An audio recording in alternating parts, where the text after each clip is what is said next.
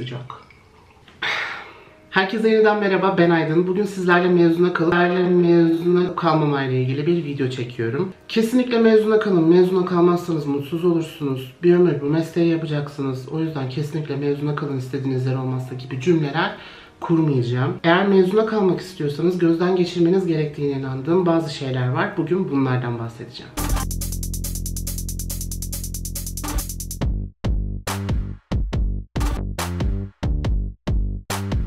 1. Sınava girmeden önce en az iki hedefiniz olmalı. Bu hedeflerin ikisi de sizi mutlu edebilir olmalı. Bu hedeflerden biri şu an mevcut durumda, mevcut sıralamanızda kazanabileceğiniz bölüm. Bir de gönlünüzden geçen, gerçek potansiyelinizi kullandığınızda kazanabileceğinize inandığınız bölüm. Ben tek bir bölüm istiyorum, başka hiçbir şey düşünmüyorum demek kısa vadede sizin motivasyonunuzu arttırabilir ama uzun vadede emin olun ki sizin stres kaslarınızı arttıracağından bu durum sizi başarısızlığa da sürükleyebilir. Bir sürü meslek var. Bu mesleklerin dallarının dallarının dalları var. Bir sürü yan dal var. Bunlardan eminim ki birden fazlası sizi mutlu edebilecektir. Tüm meslek dallarını araştırmaya çalışın. Bu meslekleri yapanlarla konuşmaya çalışın. İnternette influencer diye geçiniyoruz yani. Gidip yazın. Arkadaşım markalardan ürün toplamak dışında da bir işe yaramak ister misin? Yaptığım meslekten memnun musun? gibi şeyler sorun. Da sormayın şimdi milleti başıma bela edeceğim. Bana saldıracaklar şimdi sen bize laf mı sokuyorsun diye. Videonun burasını koyup koymama konusunda gerçekten tereddütte kaldım ama böyle her videonun başında bu video sponsor değil dememin sebebi onlar sürekli markalardan ürün durdukları için ben her videonun başında bu video sponsor değil demek zorunda kalıyorum. O yüzden de sanırım kesmeyeceğim. 2. 240 binincisiniz. Ama istediğiniz bütün meslek dalları ilk 5000 içerisinde. Birden fazla meslek dalı da seçtiniz kendinize. Ama bu meslek dallarının hepsi için ilk 5000'e girmeniz gerekiyor diyelim ki. Böyle bir durumda kimse size yapamazsınız, edemezsiniz diyemez. Ama eğer kaydırmadıysanız bu eksikleri kapatmak için size bir yıl yeterli olmayabilir. O yüzden de bu tarz uçurum şeklinde sıçramalar gerektiren başarılar için birden fazla yılı gözden çıkarmanız gerekebilir. Yani birden fazla kez mezuna kalma ihtimaline kendinizi alıştırmanız gerekiyor. 3. Aile ve maddi durum.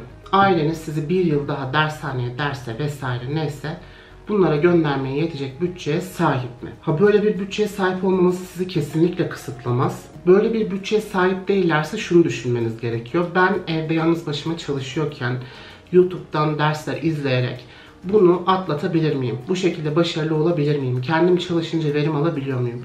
Bunu kendinize sormanız gerekiyor. 4. Mahalle baskısı el alem ne der? El alem bok yesin arkadaşlar. Onlar sizin başarılarınızdan değil başarısızlıklarınızdan besleniyorlar. Eğer mezuna kalmak istiyorsanız öncelikle bu insan bozuntularını çevrenizden uzaklaştırmanız gerekiyor. Hatta ailenize de terkinde bulunabilirsiniz.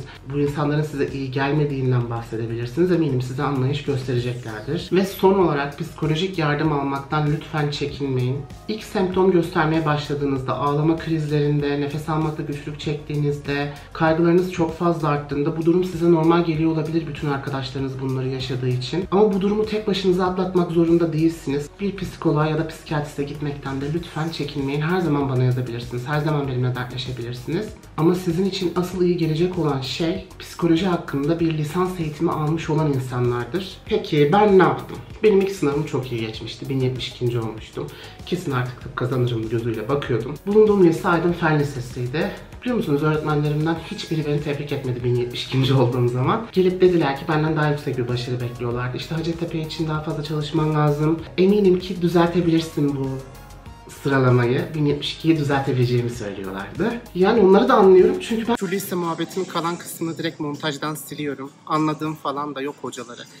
Onları da anlıyorum mesela. Hayır anlamıyorum. Lise benim için çok leş bir yerdi.